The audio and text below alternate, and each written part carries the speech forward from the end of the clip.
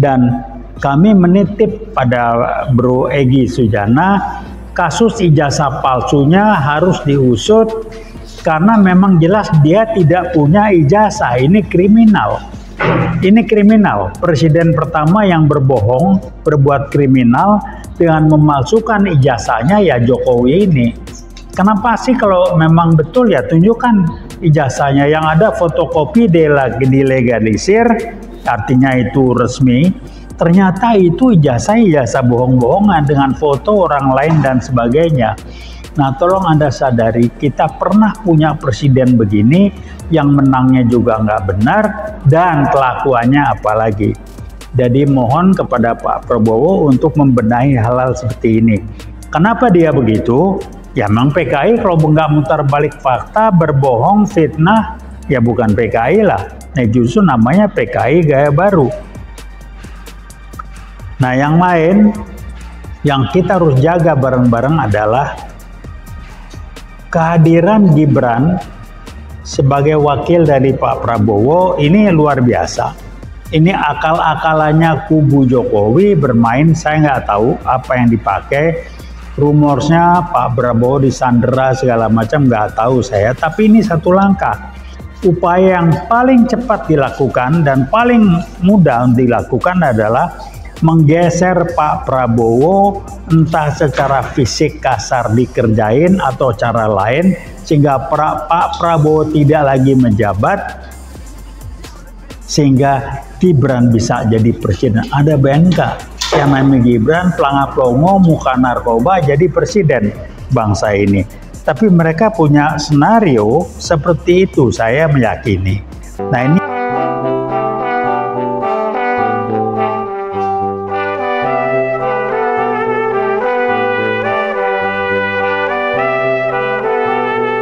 Assalamualaikum warahmatullahi wabarakatuh. Rekan-rekan, saya ingin menyampaikan sebagai UI Watch yang hari ini jaket kuning ketinggalan, jadi mohon maaf nggak pakai jaket kuning. Nah, pada kesempatan ini saya ingin sampaikan sekaligus mengingatkan masukan dan tolong dibantu untuk sampaikan juga kepada Pak Prabowo bahwa beliau sebagai presiden harus mencabut Kepres 28 bulan Februari 24 yang dikeluarkan oleh presiden waktu itu Pak Jokowi yang isinya isinya adalah menyatakan bahwa dalam G30 SPKI 65 itu PKI adalah korban keluarganya dibantu dengan segala macam melewati uh, dengan ada turu kep, kepres dan impres lanjutan dari kepres 28 bulan Februari tersebut. Ini sangat strategis dan penting karena kalau dibiarkan maka apa yang disampaikan di Kepres 28 BPKI adalah korban. Saat G30 SPK PKI 65 ini sudah pengkhianatan terhadap bangsa dan negara, pemutar balikan sejarah. Dan kalau dibiarkan ini nggak benar. Sejalan dengan itu, pertanggungjawaban Jokowi harus dikejar terus dan dituntut.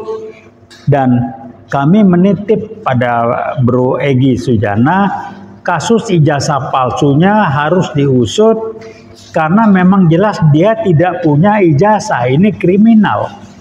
Ini kriminal. Presiden pertama yang berbohong berbuat kriminal dengan memalsukan ijazahnya ya Jokowi ini.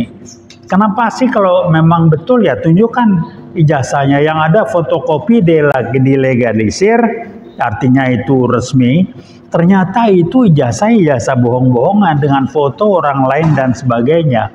Nah tolong Anda sadari kita pernah punya presiden begini yang menangnya juga nggak benar dan kelakuannya apalagi.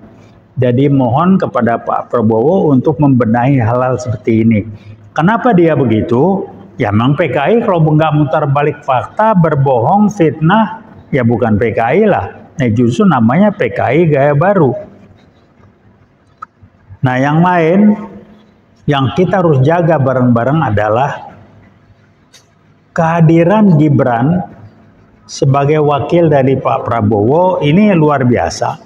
Ini akal-akalannya kubu Jokowi bermain saya nggak tahu apa yang dipakai.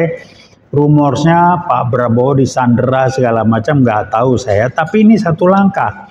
Upaya yang paling cepat dilakukan dan paling mudah dilakukan adalah menggeser Pak Prabowo entah secara fisik kasar dikerjain atau cara lain sehingga pra, Pak Prabowo tidak lagi menjabat sehingga Gibran bisa jadi presiden. Ada bangga yang namanya Gibran pelangap longo muka narkoba jadi presiden bangsa ini. Tapi mereka punya senario seperti itu saya meyakini. Nah ini harus difahami betul-betul. Nah di samping lain adalah Tolong diingat lingkungan yang Pak Poro mengatakan dia akan hantam korupsi habis-habisan. Tolong diingat, Yakut mantan Menteri Agama itu korupsi itu memindahkan jatah haji segala macam berapa triliun itu ke mana itu? Halo Bro Yakut, Anda udahlah main-main cari duit yang nggak benar nggak pecus korupsi kayak gitu silakan Bikinlah klarifikasi kalau Anda tidak korupsi, ngapain pindahin jatah haji menjadi segala macam segala macam itu. Nah, kalau Gibran memang disetting seperti itu dengan fufu fafanya yang aneh bin ajaib. Menko Info Budi Ari urusan apa sibuk dengan fufu fafa? Dia kan pejabat pejabat negara. Di surah sudah jelas mengatakan fufu fafa itu Gibran dia mau coba mengalihkan dengan intervensi segala macam ngapain gitu. Jadi memang dia dipasang di sana dan yang menarik videonya rame di medsos diviralkan duit berlaci-laci terbuka rupiah yang sampai triliunan katanya digambarkan juga di medsos itu di kantor khususnya yang namanya Menko Info. Pertanyaannya Jangan main koinfo pura-pura nggak tahu itu duit dari mana triliunan. Tolong diusut. KPK jangan menang wae lah, diusut lah segala macam itu. Ini menarik ini. Jadi Jokowi masih berusaha ngatur-ngatur dengan jaringannya, yaitu cara kerja PKI gaya baru dengan mem, apa namanya menyandera barangkali Prabowo juga diancam saya nggak tahu caranya bagaimana tapi yang yang jelas adalah tolong dikejar tanggung jawab Pak Jokowi semasa jadi presiden dimulai dengan mengusut kasus ijazah palsunya itu. Itu aja satu kalau sudah nggak benar selesai itu. Kemudian klarifikasi orang tuanya nih tim Harjo yang dulu salah satu toko PKI di daerah ngeles kiri ngeles kanan. Nah ini cuma dibenahin lah, jangan main-main. Kemudian tiba-tiba di Solo lah dia bikin putusan sendiri untuk dapat rumah gini segala macam. Jadi banyak hal yang memang harus kita benahi dan kita hanya bisa nitip ke Pak Prabowo. Dan kami memahami, saya kira Anda juga memahami ngapain Gibran dipaksa dipasang sebarangan Pak Prabowo?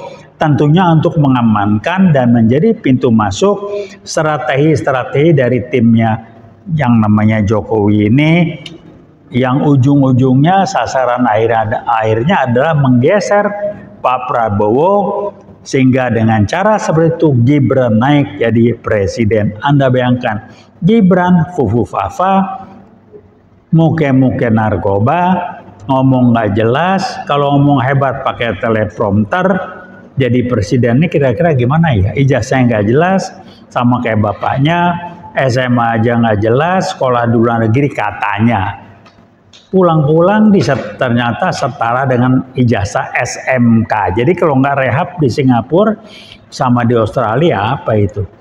Nah ini tolonglah ini udah kebohongan-kebohongan yang memalukan dan juga murahan seperti ini. Jangan kita diam aja. Ada yang nanya ke saya, kok bisa ya Pak begitu? Saya bilang bisa. Sebab kita mendiamkan mereka melakukan itu sehingga mereka mampu melakukan itu. Sama Kenapa Yakut bisa korupsi? Karena kita mendiamkan. Jadi berpikirnya adalah umat Islam ini mayoritas. Kok cuma jadi kayak bui? Karena mikirnya kualitasnya nggak ada, nggak peduli. Anggap urusan dunia nggak penting, urusannya akhirat. Anda sebelum ke akhirat beresin tanggung jawab di dunia dulu, bukan urusan akhirat, dunia nggak penting. Jadi jangan membangun mindset yang nggak benar lah.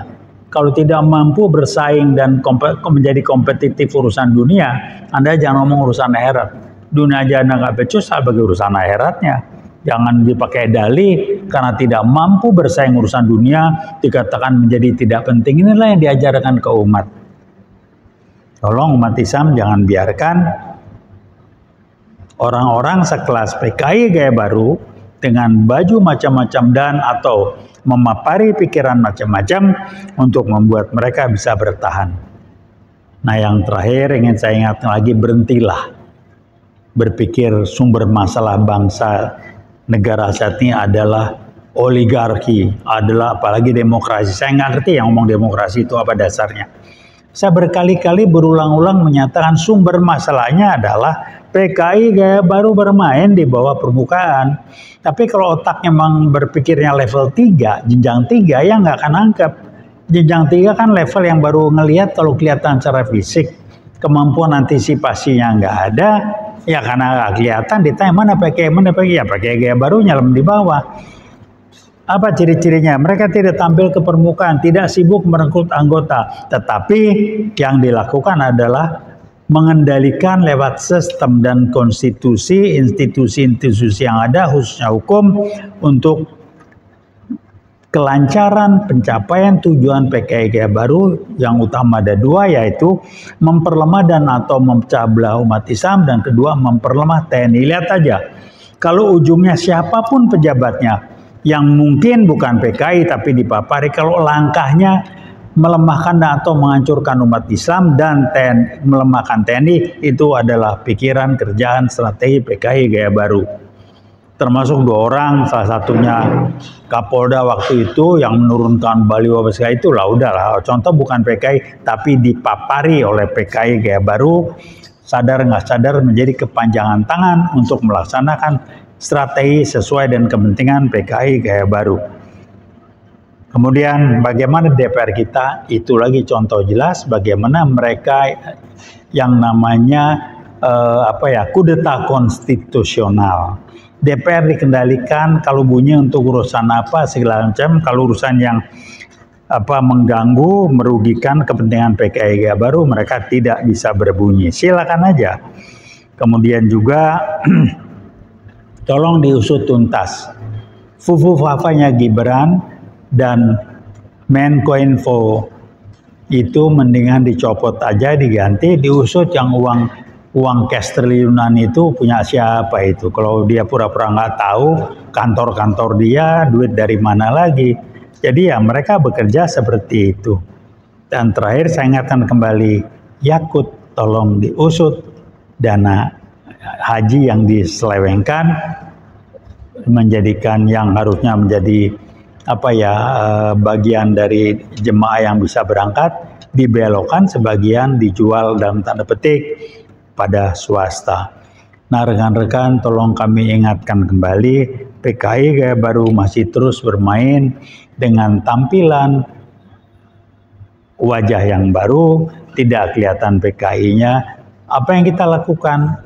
Kalau kita ragu atau bingung gimana memahaminya, lihat aja sasaran tujuan akhir dari kegiatan dilakukan oleh siapa pun, baik pejabat baik yang PKI yang bukan PKI sekalipun, kalau tujuannya merugikan dan atau memperlemah dan atau memecah belah umat, umat Islam dan atau mempermateni itu sudah strategi PKI gaya baru. Siapa pun yang ngomong, siapa pun yang melakukan dan PKI gaya baru akan menggunakan tangan orang lain dan mem memapari pikiran-pikiran pejabat yang jelas bukan PKI gaya baru atau memapari pikiran-pikiran siapa pun untuk bicara ke publik supaya PKI gaya baru tidak tampil ke permukaan dibelokkan dengan mengangkat penyebab sumber masalahnya bukan pada PKI Baru. Contoh adalah oligarki. Sekarang tiba-tiba diangkat demokrasi. Saya nggak tahu teman-teman yang ngomong masalahnya demokrasi apa sih demokrasi? Jadi tolong dipahami lah ya. Tolong berpikir lebih cerdas. Naikkanlah kualitas jenjang berpikir Anda dari tiga minimal lima atau enam lah. Kalau belum bisa tujuh atau delapan yang paling tinggi.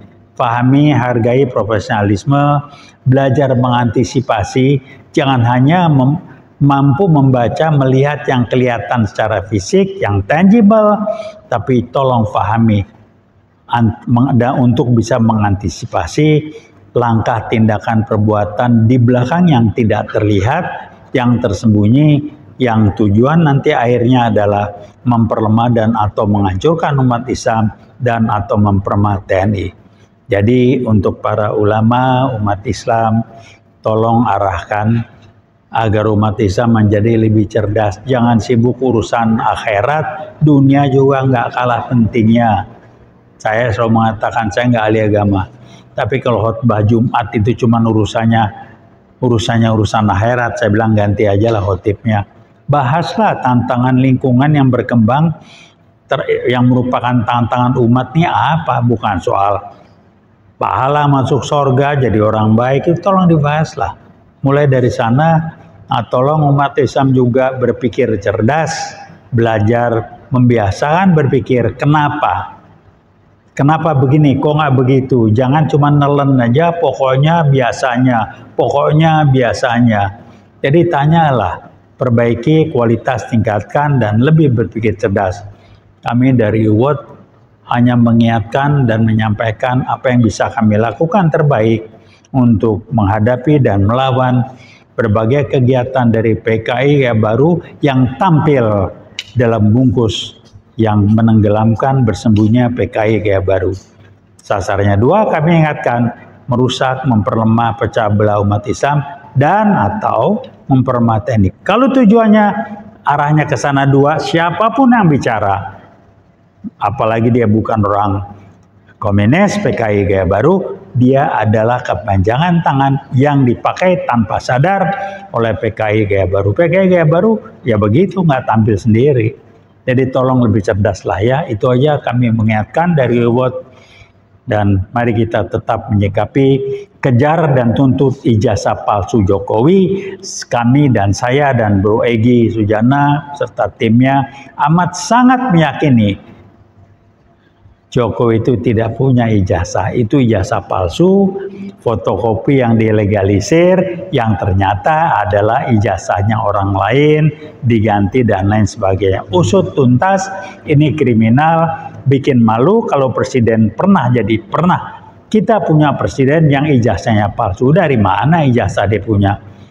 Tunjukin kalau ada, jangan les kiri, les kanan. Halo Pak Jokowi, anda sudah jerat biasa, Anda masih punya kekuatan, gesek kiri, gesek kanan, karena ada PKI di belakang Anda yang mendukung dan menggerakkan Anda. Terima kasih, lawan terus, jangan pernah berhenti.